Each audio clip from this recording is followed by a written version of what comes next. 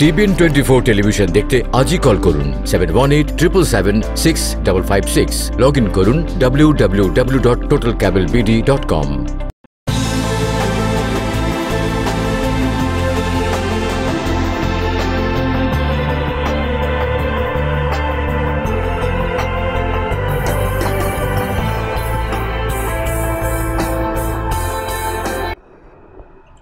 স্বাগত। দেখছেন টিবেন অ্যানালাইসিস। আছি আমি সুলতানা রহমান। আর আমার সঙ্গে আছেন অ্যাটর্নি মাহফুজুর রহমান। আপনাকে স্বাগত জানাচ্ছি। আমরা আজ কি নিয়ে আলোচনা করব। অলওয়েজ বরাবরই আমরা ইমিগ্রেশন নিয়ে আলাপ করি। আমরা জানি যে প্রেসিডেন্ট ডোনাল্ড ট্রাম্পের এই সময়টাতে গত চার বছর ধরেই অভিবাসন নীতি তার বিভিন্ন প্রশাসনের বিভিন্ন জায়গায় প্রত্যক্ষ এবং পরোক্ষভাবে প্রভাব রেখেছে। আমরা কোন কোন খাতে কি কি ধরনের সমস্যা দেখা যাচ্ছে এবং সাধারণ মানুষ যারা অভিবাসী প্রত্যাশী কিংবা এখনও যারা মানে অভিবাসী স্ট্যাটাস নিয়ে আছেন, তাদের কি কি সমস্যা হচ্ছে? কোন বিষয়গুলিতে কেমন দ্রুত সমাধান পাওয়া যেতে পারে এইসব বিষয় নিয়ে আলোচনা করব। দর্শক আপনারা কিন্তু আমাদের এই অনুষ্ঠানে অংশ নিতে পারেন। টেলিভিশনের পর্দায় যে নম্বরটি দেখতে পাচ্ছেন, সেখানে ফোন করে জানাতে পারেন আপনাদের মতামত। এমনকি ইমিগ্রেশন সংক্রান্ত যে কোনো প্রশ্ন আপনারা করতে পারেন এবং আমাদের অ্যাটর্নি চেষ্টা করবেন আইনি তথ্য দিয়ে আপনাদেরকে সহযোগিতা করার। সুতরাং সেই আমন্ত্রণ জানিয়ে রাখছি। এছাড়াও আপনারা অংশ নিতে পারেন আমাদের ফেসবুক পেজে সেখানেও জানাতে পারেন আপনাদের মতামত কিংবা কোনো প্রশ্ন। জনাব অ্যাটর্নি মাহফুজুর রহমান, আমি শুরুতে যেটা বলছিলাম যে, গত চার বছর ধরে আসলে একটা অভিবাসন যে নীতি, সেটার উপর বেশ কিছু প্রভাব পড়েছে। আমরা দেখেছি যে, প্রেসিডেন্ট ডোনাল্ড ট্রাম্প একজন অনেকেই বলেন যে, অভিযোগ করেন যে, তিনি অভিবাসী বিরোধী প্রেসিডেন্ট। তো প্রশাসনে একজন একজন মানে কমান্ডার ইন চিফ যখন একটি পলিসি নেন কিংবা কোনো কিছুর বিপক্ষে যান, তার কিছু প্রভাব আমরা জানি প্রশাসনে পড়ে সেই প্রভাবগুলো কি কি আপনারা অ্যাটর্নি হিসেবে ফেস করছেন? সেটা প্রথমে বলতে চাই যে আমেরিকা হচ্ছে ইমিগ্রেন্টের কান্ট্রি বরাবরই ইমিগ্রেন্টের কান্ট্রি আর আপনি যদি একটা জিনিস কম্পেয়ার করেন, যে বিগত চার বছর আর প্রিভিয়াস যে সমসাময়িক কালের যে শাসন আমল, প্রতিটা প্রেসিডেন্টের যদি শাসন আমলের যদি মানুষের যদি অল্প যদি মনে থাকে, সব সময় দেখা যায় যে সমস্ত প্রশাসন ইমিগ্রেন্টের জন্য বেটার কিছু করার একটা প্রতিজ্ঞা করে এবং ক্ষেত্র বিশেষে তারা করেছেও। রিপাবলিকান বলেন ডেমোক্রেট বলেন রিপাবলিকানরা অ্যামনিস্টি দিয়েছে, তারপরে হচ্ছে ডেমোক্রেটরা বিভিন্ন সময় ভালো ল প্রণয়ন করেছে, যেমন ওবামার আমলে ডেকা করেছে। সো ওরা যতগুলো পদক্ষেপ নিয়েছে, প্রতিটা পদক্ষেপে দেখা গিয়েছে ইমিগ্রেন্ট কমিউনিটির মধ্যে, সমগ্র কমিউনিটি না হলেও একটা আংশিক কমিটির মধ্যে একটা আশার একটা এই মানে আপনার তৈরি হয়েছিল যে আশা তৈরি হয়েছিল ইমিগ্রেন্ট কমিউনিটির মধ্যে। আর এই যে বিগত চার বছরে প্রশাসন যতই সিদ্ধান্ত নিয়েছে এবং নিচ্ছে, প্রতিটি সিদ্ধান্ততেই কিন্তু ইমিগ্রেন্ট কমিউনিটির মধ্যে একটা সংখ্যা তৈরি হয়েছে। সংখ্যা তৈরি হয়েছে সেটা আমরা জানি, কিন্তু প্রশাসনে গতিতে কোনো স্লথ ভাব এসছে কিনা, কোথাও কোনো প্রভাব থাকছে কিনা নেতিবাচক? মানে ধীর গতি আসছে কিনা প্রশাসনে অভিবাসীদের অভিবাসীদের কাগজপত্র সংক্রান্ত এই প্রশ্নটা আপনার কাছে থাকল। আমার সঙ্গে দুজন দর্শক আছেন। দর্শক কে আছেন নাম এবং পরিচয় বলে প্রশ্ন করুন। দর্শক কে আছেন? আমি আমি মিশিগান থেকে কইলাম জি বলুন। আমার এই ভাই ভাইয়ের জন্য অ্যাপ্লাই করছিলাম টু থাউজেন্ড ফাইভে ওর একটা মেয়ে আছে বয়স এখন বাইশ বছর দশ মাস হয়ে গেছে। তো টু থাউজেন্ড নাইনে অ্যাপ্রুভ আসছে। ফাইভে অ্যাপ্লাই নাইনে অ্যাপ্রুভ আসছে। ওই হিসাবে তো ওই ষাট বছর ক্রেডিট পাওয়ার কথা। কিন্তু গত সাত আট মাস হয়েছে, আমি ওর পেপার সাবমিট করে ফেলছি। সাবমিট করে দিয়ে দিয়েছি, ওরা সব টাকায় পাঠাইছে বলল, কিন্তু এখনও ইন্টারভিউ হয় নাই। তা এখন কি করব? ওই সিএসপি তো আমি কোনো ওদেরকে জানাব কি না জানাব বুঝতেছি না। যেহেতু ওর ষাট বছর ক্রিয়েট হয়েছে ওর বয়স এখন উনিশ, যদিও কিছুদিনের মধ্যে ডাকে, কিন্তু এই হিসাবে বয়সটা হবে উনিশ। কিন্তু সিএসপির আন্ডারে আমার জানানো উচিত নেই। আর যদি হয় তাহলে আমি জানাইছি অবশ্য কিছুদিন আগে। কিন্তু কোনো রিপ্লাই পাই নাই আর কি। জি। একটা ফলো আপ কোশ্চেন উনি কি অ্যাপ্লিকেশনের সাথে আছে? ওই হ্যাঁ হ্যাঁ আছে। আচ্ছা। তো যদি অ্যাপ্লিকেশনের সাথে থাকে, এই মুহূর্তে আর নতুন করে রিকোয়েস্ট করার তেমন কোনো কিছু নেই। অ্যাপ্লিকেশনটি যখন ফাইনালি ঢাকা অ্যাম্বাসিতে যাবে অ্যাম্বাসি যদি কোনো কারণে নেগেটিভ সিদ্ধান্ত নিয়ে থাকে ওই সন্তানের ক্ষেত্রে তখন সেক্ষেত্রে সিএসপি রুল অনুযায়ী তাদের কাছে সেই, আপনার আপিল করা যাবে। আমার মনে হয় দর্শক তার উত্তরটি পেয়েছেন। আমাদের সঙ্গে আরও একজন দর্শক আছেন। দর্শক কে আছেন? নাম এবং পরিচয় বলে প্রশ্ন করুন। দর্শক কে আছেন? ওয়ালাইকুম আসসালাম। বলুন। আমি সোহেল বলছিলাম নর্থ ক্যারোলাইনা থেকে। জি। আমার একটা কোশ্চেন হচ্ছে আমি রিসেন্টলি ইমিগ্রেশন ভিসাতে আমেরিকাতে এসেছি তো আমি আমার বাংলাদেশের ছেলে মেয়েদের জন্য অ্যাপ্লাই করতে চাই তো ওরা হচ্ছে আনম্যারিড দুইজন আনম্যারিড আছে একজন ম্যারিড সো যেহেতু আমার এখন গ্রিন কার্ড আমি তো আনম্যারিডদের জন্য অ্যাপ্লাই করতে পারব। কি কি ধরনের বেসিক ডকুমেন্ট লাগে এটার অ্যাপ্লিকেশনের জন্য সেটা নিয়ে আমার একটু জানার ছিল আর কি। আপনার সন্তান আপনি বলছেন আনম্যারিড তাদের বয়স কত? সবার বয়সী আহ, একুশের বেশি। অলমোস্ট তিরিশের মতো একজন তিরিশ আর একজন হবে থার্টি থ্রি তেত্রিশ হবে। আর সেটি হচ্ছে গ্রিন কার্ডধারী তার over twenty one unmarried child ক্যাটাগরিতে আবেদন করতে হবে সেক্ষেত্রে। আর এই ধরনের অ্যাপ্লিকেশনের ক্ষেত্রে যে জিনিসটি প্রুভ করতে হবে, সেটি হচ্ছে রিলেশন আপনার ফাদার চাইল্ড রিলেশন প্রুফ করতে হবে। আর এই এই রিলেশন প্রুফের একমাত্র মাধ্যম হচ্ছে বার্থ সার্টিফিকেট যে প্যারেন্টসের বার্থ সার্টিফিকেট আর হচ্ছে চাইল্ডের বার্থ সার্টিফিকেট ওই ওইটাই হচ্ছে ভাইটাল ডকুমেন্টস এছাড়া আরও আনুষঙ্গিক যেসব আইডেন্টিটি ডকুমেন্ট আছে সেগুলো প্রোভাইড করতে পারে। আমার মনে হয় দর্শক আপনি নর্থ ক্যারোলিনা থেকে ফোন করেছিলেন আপনার উত্তরটি পেয়েছেন। আমাদের সঙ্গে আরও একজন দর্শক আছেন। কে আছেন? নাম এবং পরিচয় বলে প্রশ্ন করুন। জি আলাইকুম। ওয়ালাইকুম আসসালাম। সুমন বলতেছিলাম ব্রকলিন থেকে। জি।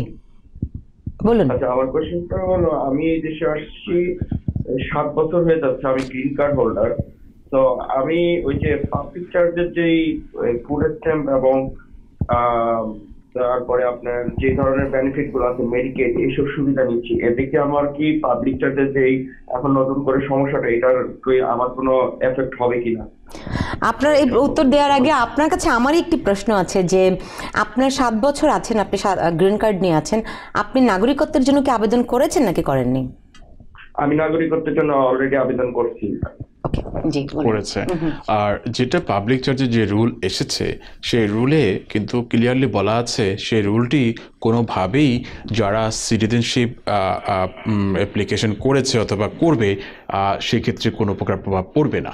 তো এই ক্ষেত্রে দেখা যাচ্ছে যে উনি স্ক্রিন কার্ডধারী অবস্থায় হয়তো মেডিকেট অন্যান্য সুযোগ সুবিধা নিয়েছে সেক্ষেত্রে কোনো প্রকার এফেক্ট পড়বে না। করবেন এটি একদম আইনে স্পষ্টতই বলা আছে তাই তো? আপনি এর আগে আমাদের অনুষ্ঠানে বারবার এটি বলেছেন আহ, এবং পাবলিক চার্জ নিয়ে আসলে আতঙ্কিত হওয়ার কিছু নেই। কিন্তু আবার আহ, কেউ যদি সক্ষম হন সেই ক্ষেত্রে রাষ্ট্রের সম্পদের উপর বোঝা না হওয়াটাও ভালো। আপনি এটি সতর্ক করেছেন। আমাদের সঙ্গে আরও একজন দর্শক আছেন। কে আছেন? নাম এবং পরিচয় বলে প্রশ্ন করুন। হ্যালো আসসালামু আলাইকুম। ওয়ালাইকুম আসসালাম বলুন। যে আমি শিমুল কুইন্স থেকে বলছি জি। যে আমি শিমুল কুইন্স থেকে বলছি যে আমার মেয়ের বয়স চোদ্দ বছর সে আমার সাথে নিউ ইয়র্কে থাকে। আমার গ্রিন কার্ড আমি গ্রিন কার্ড দিয়ে ওর জন্য গ্রিন কার্ডের জন্য অ্যাপ্লাই করছি। বাট যাকে দিয়ে করছি সে হয়তো ফর্মে ভুল করছে। সে গ্রিন কার্ডের জায়গায় মনে হয় ভিসা জন্য ওখানে সেন্ড করছে। আর ইউএসসিএস ওরা আমাকে অ্যাপ্রুভাল লেটার পাঠিয়েছে বাট ওরা এটা সেন্ড করছে এনবিসি তে। এখন আমি এটা কি করব? মানে এটার প্রসেসটা কি করা যায়? আর কিছু ফলো আপ কোশ্চেন দরকার আপনার মেয়ে কি আমেরিকা থাকে এখানে? দর্শক আপনি আমাদের সঙ্গে আছেন? ইয়েস ইয়েস জি আপনার আমাদের অ্যাটর্নি প্রশ্ন করেছেন যে আপনার মেয়ে আমেরিকাতে থাকে কিনা। আমার মেয়ে আমার সাথে আমেরিকাতে থাকে তার বয়স চোদ্দ বছর। উনি আসছে কীভাবে? হ্যাঁ আমেরিকাতে থাকে আমরা একত্র ভিজিট ভিসা আসছি। আমার আমার গ্রিন কার্ড আছে বাট আমার মেয়ের নেই। নাই। তো এখানে অবশ্যই জিনিসটা অনেকগুলো ল এখানে প্লে করবে। ওনার যেটা উচিত হবে একজন লাইসেন্স এবং অভিজ্ঞ অ্যাটর্নির সাথে যেন পরামর্শ করে বিষয়টি নিয়ে। তো ইন জেনারেল যেটা হয় এ ধরনের সিচুয়েশনে উনি যদি গ্রিন কার্ড যেতে ধারী, বিগত তিন চার মাসের মধ্যে কিন্তু আপনার ওনার ক্যাটাগরি হবে গ্রিন কার্ডধারী ওনার যে মাইনর চিলড্রেনের জন্য অ্যাপ্লিকেশন যেটা করবে সেই ক্যাটাগরিতে তো সেই ক্যাটাগরির অ্যাপ্লিকেশনগুলো কারেন্ট ছিল। তো উনি যদি সঠিকভাবে কোনো লয়ারের সাথে দেখা করতো, হয়তো ওনাকে এই পরামর্শ করতো, উনি কিন্তু সরাসরি কিন্তু অ্যাডজাস্টমেন্ট করতে পারে ওই মাইনরটির জন্য। আর এখানে আরেকটি মজার বিষয় যে, ওই মাইনরটি যদি ভিজিট ভিসায় বা সম্ভবত অবশ্যই যেহেতু আজ চোদ্দ বছর, নিশ্চয়ই আমরা ধারণা করতে পারি যে বি ওয়ান বি টু ভিসায় হয়তো বা প্যারেন্টস সাথে আসছে। আসার পরে যদি ওনার ভিসা থেকে থাকে এখনও দ্যাট ইজ ফাইন তাহলে সরাসরি কিন্তু অ্যাডজাস্টমেন্ট আবেদন করতে পারে। এখন এই মাসেও কিন্তু কারেন্ট আছে। আর যদি ইনকেস যদি ওনার যদি ভিসা ওভারিস্টও হয় এখানে কিন্তু একটা ল আছে। যেটি মাইনর যারা কিনা ইমিগ্রেন্ট এদেশে যারা ইমিগ্রেন্ট আছে আন্ডার এইটিন পর্যন্ত তারা কিন্তু টেকনিক্যালি ওভারস্টে হয় না, তাদেরকে কাউন্ট করা হয় না। তো সেক্ষেত্রে স্টিল যদি ভিসা যদি কারেন্ট থাকে she is eligible for the adjustment তো he need to see that আমার মনে হয় দর্শক, বিষয়টি আপনার জন্য খুবই গুরুত্বপূর্ণ এবং আপনার সন্তানের জন্য আরও বেশি গুরুত্বপূর্ণ এবং আপনি কোনোভাবে অবহেলা করবেন না। খুব জরুরি একজন অ্যাটর্নির সঙ্গে কথা বলবেন, কারণ আমাদের অ্যাটর্নি মাহফুজুর রহমান তিনি বলছেন যে আপনাদের এখনও সুযোগ রয়েছে, আপনার সন্তানকে আসলে এখানে মানে কারেন্ট স্ট্যাটাস অ্যাডজাস্টমেন্ট করার একটা সুযোগ রয়েছে রাইট আমাদের সঙ্গে আরও একজন দর্শক আছেন। দর্শক কে আছেন? নাম এবং পরিচয় বলে আপনার প্রশ্ন করুন। হ্যালো আমি টনি বলছিলাম ফ্রেশ থেকে। জি বলুন। আহ, যে আমার কোশ্চেন ছিল যে আমার ডাব্লিউ টু এবং টেন নাইনটি নাইন দুটোই আছে। তো আমি আমার স্পাউসের জন্য অ্যাপ্লাই করেছি। তো আমার কি আই এইট সিক্সটি ফোর ইজেডটাও কি ফিল আপ করতে হবে? এটি আমার কোশ্চেন এখানে যদি ফর্ম দেখা যায় স্পন্সরে একটি আছে আই এইট সিক্সটি ফোর একটি আছে এইট সিক্সটি ফোর ইজি ইজির সাথে পার্থক্য যারা কিনা ডাব্লিউ টুতে আর্ন করে তারা কিন্তু সরাসরি ইজিটা কমপ্লিট করতে পারে। কিন্তু যারা যদি সেলফ এমপ্লয়েড এবং অন্যান্য আদার ইনকাম থেকে থাকে সেক্ষেত্রে কিন্তু এইট সিক্সটি ফোর রেগুলার যেটা এইট সিক্সটি ফোর সেটি কমপ্লিট করতে হবে। জি। আপনাকে অনেক ধন্যবাদ একটা গুরুত্বপূর্ণ তথ্য দেওয়ার জন্য। আমাদের সঙ্গে আরও একজন দর্শক আছেন। কে আছেন নাম এবং পরিচয় বলে প্রশ্ন করুন। দর্শক কে আছেন? দর্শক কে আছেন আমাদের সঙ্গে? হ্যালো। জি বলুন। আমি জর্জিয়া থেকে বলছিলাম আমার নাম মাহমুদা বেগম। জি। আমি একটা হ্যাঁ জানতে চাচ্ছিলাম হ্যাঁ টনি সাহেবের কাছ থেকে যে আমার এক ভাই ভিজিট ভিসা হ্যাঁ আমেরিকায় আসছে। তো উনি কি হ্যাঁ ড্রাইভিং লাইসেন্সের জন্য অ্যাপ্লাই করতে পারে বা ড্রাইভিং লাইসেন্স পেতে পারেন? এটা নাকি অনেকে নেয় নাকি ভিজিট ভিসা এসেও। একটু জানার দরকার জানার। জন্য। এটা আমার যেটা এই, জানা আছে যেটা বেশিরভাগ স্টেটে কিন্তু এদেশে কেউ যদি ভিজিটে আসে তারা কিন্তু ড্রাইভিং লাইসেন্স নিতে পারে। যে নির্দিষ্ট যে পয়েন্ট আছে সেটি যদি উনি পূরণ করতে পারে সেটি উনি নিশ্চিতই নিতে পারে সেটা তাহলে নিশ্চয়ই নিতে পারে। আবার অনেকে বলে যে এখানে এসে ভিজিট বিষয়ে এসেও অনেক সময় সোশ্যাল সিকিউরিটি নাম্বার নিতে পারে ব্যাংক অ্যাকাউন্ট করতে পারে। এটা কীভাবে পারে? না সোশ্যাল সিকিউরিটি যে ব্যাপারটা ছিল এটা কিন্তু আজ থেকে আরও বিশ বছর আগেও যখন যারা ট্যুরিস্টরা এদেশে আসতো ড্রাইভিং লাইসেন্স নিতে গেলে তখন রিকোয়ারমেন্ট থাকতো সোশ্যাল সিকিউরিটি নাম্বার লাগবে। তখন তারা সোশ্যাল সিকিউরিটি অফিসে যেত তখন without any reason any status তারা একটা ইস্যু করে দিত। এখন কিন্তু সেটা সম্ভব না। আপনি সোশ্যাল সিকিউরিটি নিতে গেলে আপনাকে অবশ্যই এদেশে একটা রেগুলার ইমিগ্রেশন স্ট্যাটাস দেখাতে হবে। জি আপনি আমাদের সঙ্গে লাইন আছেন আমরা জানি। আপনি কে বলছেন নাম এবং পরিচয় বলে প্রশ্ন করুন। আলাইকুম। ওয়ালাইকুম আসসালাম। থেকে জিয়া বলছিলাম। জি। মাহফুজ ভাইয়ের কাছে একটা কোশ্চেন ছিল যে আমার রিসেন্টলি বাচ্চা হয়েছে সে বাংলাদেশে। তো তার আম, আমি সিটিজেন তো আমি ওর জন্য অ্যাপ্লাই করতে হলে কি বাংলাদেশ এম্বাসিতে সবকিছু করতে হবে এবং কি আমার ন্যাশনালিটি কি কি কাগজপত্র লাগবে, আমার সার্টিফিকেটও কি ওখানে সব সবকিছু সাবমিট করতে হবে অরিজিনাল কপি আর কীভাবে করতে হবে একটু বললে ভালো হতো আর কি। এটা ওনাকে যেটা নিতে হবে certificate of birth from MBC থেকে নিতে হবে। পাশাপাশি যখন ওই সার্টিফিকেট অফ বার্থ নেওয়ার পরে এমবিসি ওনাকে ইউএস পাসপোর্ট ইস্যু করে দেবে ওনার চাইল্ডের জন্য। তো সেক্ষেত্রে কিন্তু উনি কিন্তু ইউএস এমবিসির ওয়েবসাইটেই কিন্তু সব কিছু নির্দেশনা আছে, নির্দিষ্ট ফর্ম আছে এবং উনি সঠিক যেটা ওনার ন্যাচারাইজেশন সার্টিফিকেট অরিজিনাল কপিও তারা দেখতে চাইবে। আরও এছাড়া বার্থ সার্টিফিকেট মায়ের বার্থ সার্টিফিকেট ওনার বাচ্চার যেই ওনার যে ফরেন যে বার্থ সার্টিফিকেট সেসব প্রয়োজনীয় কাগজপত্র তারা দেখতে চাইবে। আমাদের সঙ্গে আরও একজন দর্শক আছেন। কে আছেন? নাম এবং পরিচয় বলে প্রশ্ন করুন। দর্শক কে আছেন? জি। হ্যালো জি বলুন। হ্যালো আমি অ্যাচুরিয়া কোয়েন্স থেকে বলছি। জি। বলুন আমরা শুনতে পাচ্ছি। জি আমার নাম লাবণী। আমি ক্লিয়ারলি আমি চোদ্দ অ্যাটর্নি সাহেবের কাছে জানতে চাচ্ছি যে আম, একজন ইমিগ্রেশন ইমিগ্রেশনে আসা নাগরিক এখানে। তো আমার আমাকে যিনি আসছে আমার বড় ভাই উনি মারা গেছেন দুই হাজার ষোলো সালে। তারপরে আমার ভাইয়ের অ্যাপ্লাই আমার বোনের জন্য অ্যাপ্লাই করা হলো দুই হাজার এগারো সালে। যে আমার ভাই তো মারা গেছেন। উনি আমার বোন কি এখন ওই অ্যাপ্লাইটা ওনার চালু আছে? কিংবা উনি কি আদৌ আসতে পারবে কিনা? এটা যদি আমাকে একটু ক্লিয়ারলি বলেন। সেই ক্ষেত্রে যদি পিটিশনার অথবা বেনিফিশিয়ারি যদি মারা যায় সেক্ষেত্রে আপনার নির্দিষ্ট ল আছে যে হিউম্যানিটেরিয়ান রিকোয়েস্ট করা যায়। যে পিটিশনার যেটা মারা গিয়েছে সেখানে সাবস্টিটিউট অফ পিটিশনার যেটা স্পন্সর করা যায়। তো সেক্ষেত্রে ওনাকে কোনো অ্যাটর্নির সাথে আলাপ করতে হবে বিষয়টি নিয়ে। আপনি এরকম কেস আমরা ফোন আমরা প্রায় পাই আসলে যে আ, আ- আবেদনকারী মারা গেছেন সেক্ষেত্রে কি হবে? আমাদের সঙ্গে আরও একজন দর্শক আছেন। দর্শক কে আছেন আপনি? নাম এবং পরিচয় বলে প্রশ্ন করুন। সালাম আলাইকুম।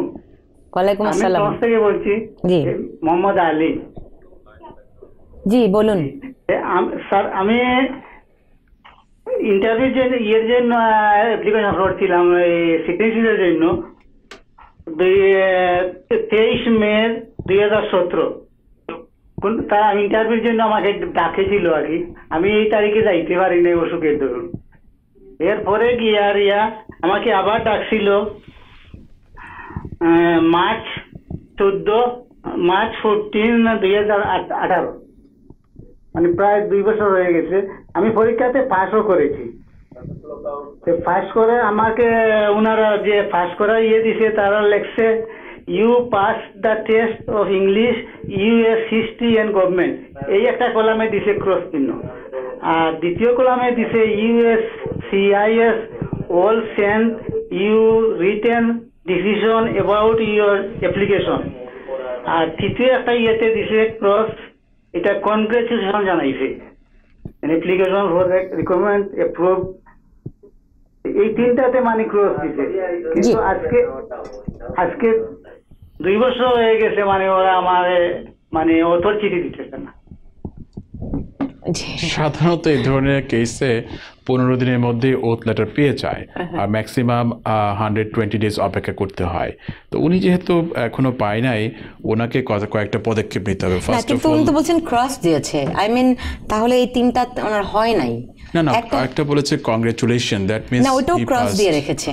মানে আচ্ছা। ক্রস মিন্স হচ্ছে ওইটা না না উনি তো বলছেন যে আমেরিকান হিস্ট্রি সম্পর্কে এটা ক্রস দিয়েছে.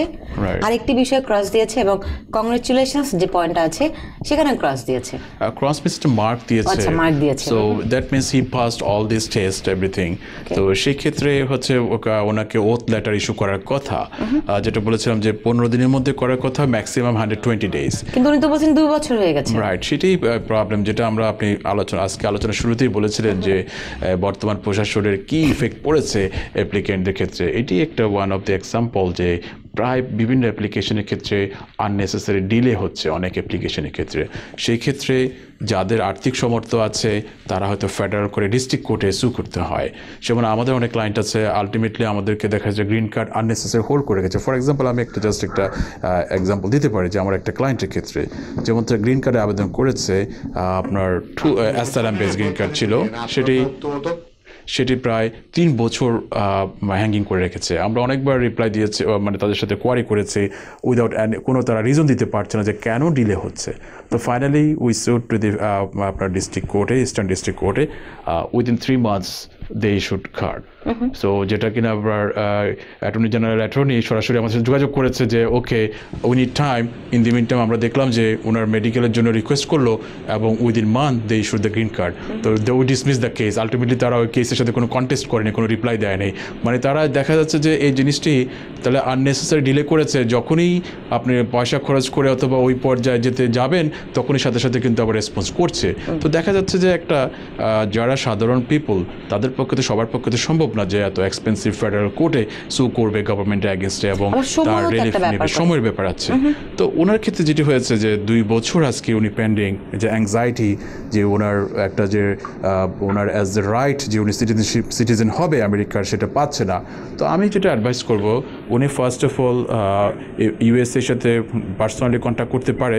সেটি যদি না হয় সেকেন্ড স্টেপ উনি নিতে পারে যে ওনার লোকাল যে কংগ্রেসম্যান অথবা সিনেটর তাদের সাথে যোগাযোগ করলে সেটিও এফেক্টিভ হয়। সেটিতে যদি কাজ না হয় তাহলে last resort he might have to sue against government এটা আমার মনে হয় আমাদের দর্শক তার প্রশ্নের উত্তরটি পেয়েছেন। আমাদের সঙ্গে আরও একজন দর্শক আছেন।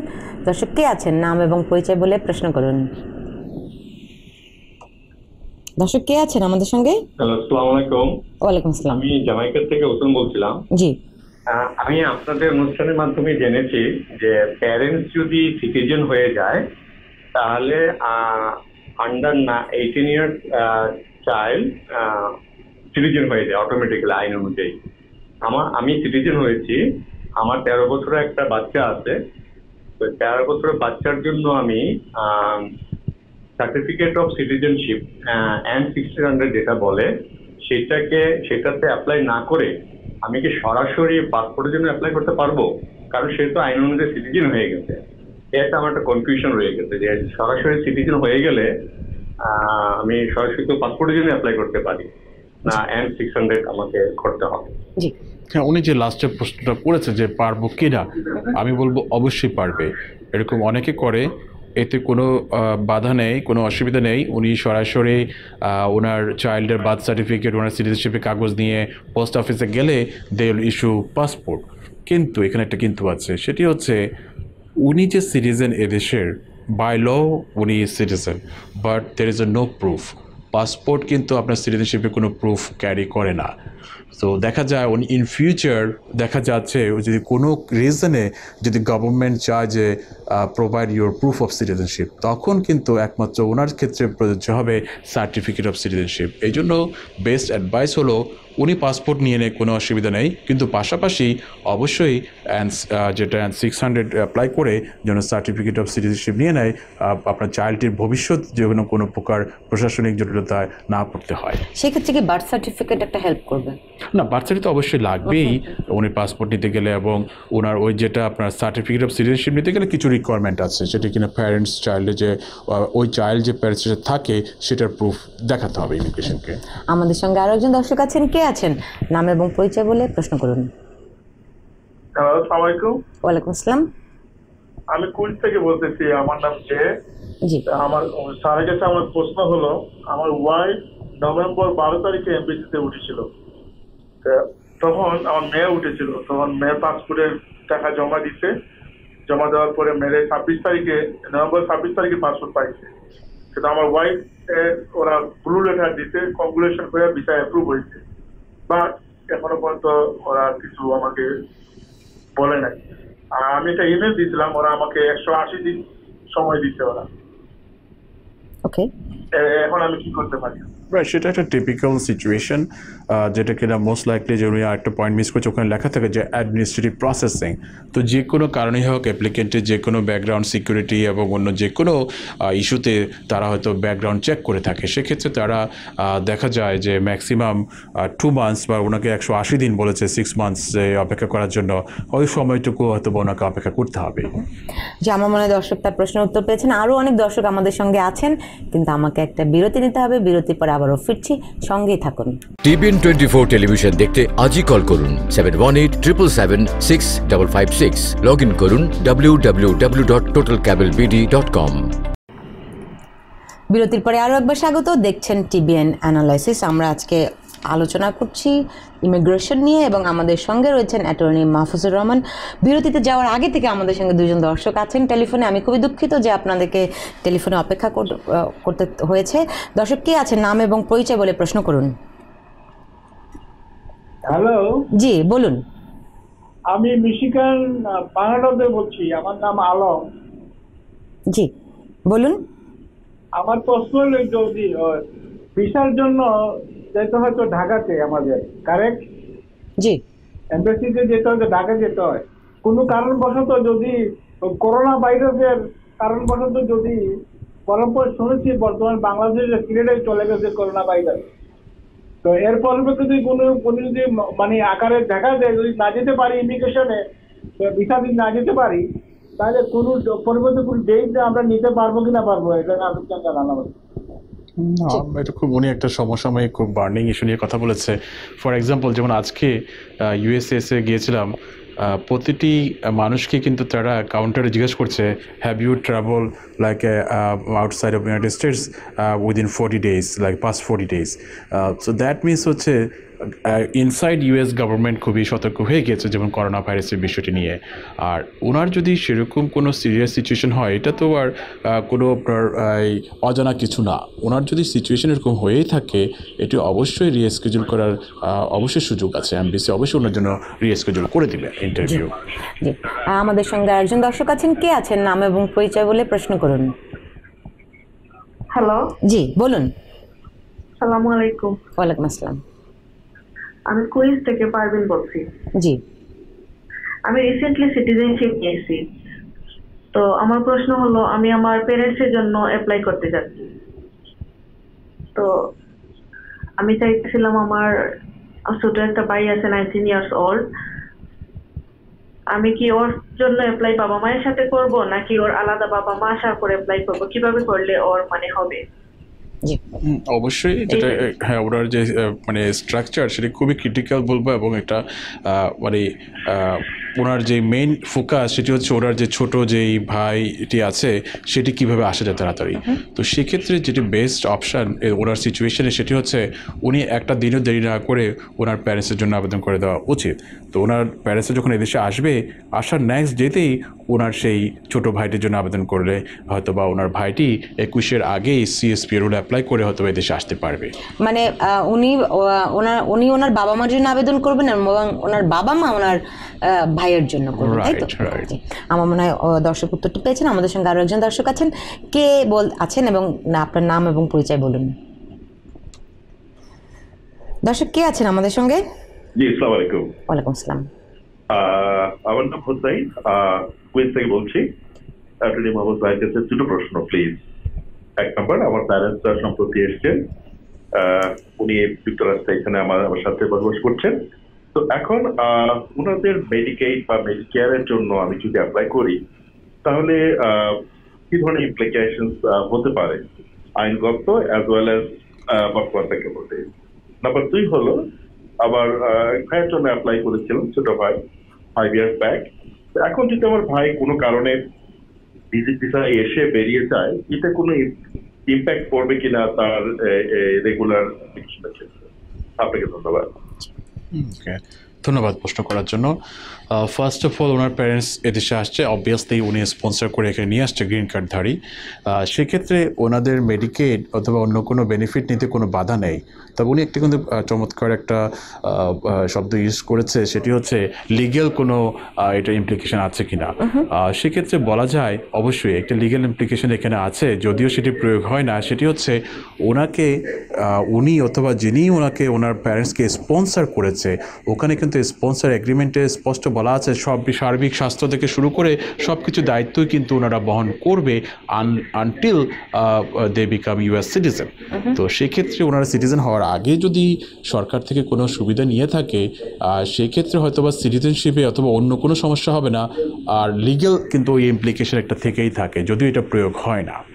আর দ্বিতীয় যেটা প্রশ্ন করেছে ওনার ভাই, আবেদন করেছে, ওনার ভাই যদি এদেশে ভিজিট ভিসা আসে, উনি যদি এদেশে আসার পরে যদি ওনার ভাইয়ের অ্যাপ্লিকেশনটি ফলো করতে চায়, তাহলে ওনাকে এদেশে অবশ্যই সবসময় একটা লিগেল স্ট্যাটাস বজায় থাকতে হবে। উনি যদি এদেশে এসে- যদি ওভার স্টে হয়ে যায় অথবা ওনার স্ট্যাটাস লুজ করে, তাহলে সেক্ষেত্রে এই দেশ থেকে উনি ভিসা নেওয়ার কোনো সম্ভাবনা নেই। আমাদের সঙ্গে আরও একজন দর্শক আছেন, কে আছেন নাম এবং পরিচয় বলে প্রশ্ন করুন। দর্শক কে আছেন আপনি টেলিভিশনের ভলিউমটি একটু কমিয়ে প্রশ্ন করুন? হ্যালো। জি বলুন। আমি প্রশ্ন করব এখন? হ্যাঁ হ্যাঁ বলুন। জি আমি জানতে চাচ্ছি আমরা তিন বছর হলো আমেরিকা এসেছি গ্রিন কার্ড নিয়ে কিন্তু আমরা মেডিকেল দিচ্ছি আর কোনো সুবিধা দিচ্ছি না। তাহলে আমরা পাঁচ বছর পর যখন আমরা অ্যাপ্লাই করব সিটিজেনের জন্য তখন কি আমাদের অসুবিধা হবে? জি অনেক ধন্যবাদ জি। সেটাই যে রিপিটেড কোশ্চেন না সেটা আমাদের যে পাবলিক চার্জের যে রুল আসছে সেটার মধ্যে কিন্তু স্পষ্ট বলা আছে যারা গ্রিন কার্ডধারী যদি তারা মেডিকেট অথবা অন্য কোনো সরকারি সুবিধা নিয়ে থাকে সেক্ষেত্রে যদি তারা সিটিজেনশিপ আবেদন করে সেটা কোনো প্রভাব পড়বে না। ওরা নিশ্চিন্তে কিন্তু আপনার সিটিজেনশিপ নিতে পারবে। কিন্তু আবার অনেক কম টাকায়ও কম মানে ইন্স্যুরেন্স কেনাও তো যায়। না এটা ডিপেন্ড করে। এখন এটা মেডিকেলটা কখন নেয়? তখন দেখা যায় যে তার সাফিসিয়েন্ট ইনকাম থাকে না ইনকাম থাকলেই তো তখন আপনার একটা প্রিমিয়াম এসে যায়। তো যেই সিচুয়েশন থাকুক সেই ক্ষেত্রে সিটিজেনশিপ নিতে কোনো বাধা নেই। আমাদের সঙ্গে আরও একজন দর্শক আছেন। দর্শক কে আছেন? নাম এবং পরিচয় বলে প্রশ্ন করুন। হ্যালো জি বলুন। আমি রাজীব বলছি কুইন্স থেকে। জি। আহ, আমার অ্যাটর্নি সাহেবের কাছে একটা প্রশ্ন আম, যখন ইউএসএ তে আসি তো আমার বার্থ সার্টিফিকেটে আমার মায়ের নাম যেটা ছিল পরবর্তীতে আমার মায়ের যখন পাসপোর্ট করা হয় তো আমি চেক করে দেখি যে আমার মায়ের পাসপোর্টের যে নামটা দেওয়া আছে এবং ওটার সাথে আমার মায়ের যে আমার বার্থ সার্টিফিকেটে যে নামটা আছে সেটা ভুল। তো এখন আমি যখন ওনার জন্য অ্যাপ্লাই করতে যাব তো তখন আমি যদি আমার বার্থ সার্টিফিকেট নতুন করে বানাই এবং সেটা যদি সাবমিট করি তাহলে সেটা কি ইন ফিউচারে কোনো প্রবলেম হবে কিনা? এটা বলা যায় পার্সোনাল ডকুমেন্টেশন একটা। এটা কিন্তু অলওয়েজ চেঞ্জ করা যায়। ইভেন আপনি এই দেশেও কিন্তু আপনি ইচ্ছা করলে বার্থ সার্টিফিকেটে যে ভুলভ্রান্তি থাকে, আপনি সুপ্রিম কোর্টে মামলা করে সেটা কিন্তু সংশোধনের ব্যবস্থা করতে পারেন। তো উনি যদি বার্থ সার্টিফিকেট ওনার বাংলাদেশের বার্থ সার্টিফিকেট থাকে, বাংলাদেশের যে লোকাল রুল অনুযায়ী যদি এটা সংশোধন করা সম্ভব, তাহলে অবশ্যই সংশোধন করে রাখতে পারে এবং সেক্ষেত্রে কোনো অসুবিধা হওয়ার কথা না। আমাদের সঙ্গে আরও একজন দর্শক আছেন। দর্শক কে আছেন নাম এবং পরিচয় বলে প্রশ্ন করুন। দর্শক কে আছেন? ওয়ালাইকুম আসসালাম। আমি রাহিনা মমতাজ বলছি বাফলো থেকে। জি বলুন। আমার প্রশ্নটা হচ্ছে আপু আমার হাজবেন্ড সিটিজেন এবং আমার বড় ছেলের বয়স এপ্রিলে আঠারো বছর পূর্বে। মানে শেষ হবে আঠারো বছর এপ্রিলে ষোলো তারিখ। এখন ও কি ওর পাপার সাথে কি সিটিজেন হতে পারবে বা সিটিজেন অ্যাপ্লাই করতে পারবে এখন? ওনার বাবা কি মানে সিটিজেন না কি এখন অ্যাপ্লাই সিটিজেন করতে পারব নাকি? এই অনেক প্রশ্ন ওনার হাজবেন্ড কি সিটিজেন অলরেডি না করবে? আমার হাজবেন্ড অলরেডি সিটিজেন সিটিজেন তাহলে যেটা আমরা আলোচনার একটা পর্যায়ে আলাপ করছিলাম যে সিটিজেন হলে আঠারো বছরের নিচে সন্তানরা অটোমেটিক সিটিজেন হয়ে যায়। তো ওনার ছেলে কিন্তু অলরেডি ইউএস সিটিজেন তো সেক্ষেত্রে আবেদন করার কোনো কিছু নাই। ওনারা যেটা করতে হবে আয়দার ওনারা পাসপোর্ট ক্লেম করতে পারে আর না হলে যেটা সার্টিফিকেট অফ সিটিজেন আবেদন করতে পারে সেটা। আমার মনে হয় এই উত্তরটি আপনি আগেও দিয়েছেন। আপনার দর্শক আপনার প্রশ্নের উত্তর নিশ্চয়ই পেয়েছেন। আজকে আসলে আমাদের সময় শেষ। আরও অনেক দর্শক আছেন কিন্তু নিশ্চয়ই আরেকদিন আপনারা ফোন করবেন এবং আগামী সপ্তাহে আপনি তো থাকছেন বৃহস্পতিবার প্রত্যেক বৃহস্পতিবার অ্যাটর্নি মাহফুজুর রহমান থাকেন।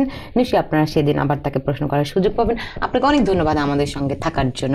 দর্শক আপনাদেরকে অনেক ধন্যবাদ জানাচ্ছি এবং অ্যাটর্নি মাহফুজুর রহমান যে সমস্ত আইনি তথ্য দেওয়ার চেষ্টা করেছেন নিশ্চয়ই সেগুলো আপনাদের কাজে লেগেছে এবং আপনারা উপযুক্ত অ্যাটর্নির সঙ্গে কথা বলে কোনো বিষয় অবহেলা না করে সঠিক সিদ্ধান্ত নেবেন সেই প্রত্যাশা রেখে শেষ করছি আমাদের আজকের আয়োজন। আপনারা সবাই ভালো থাকুন।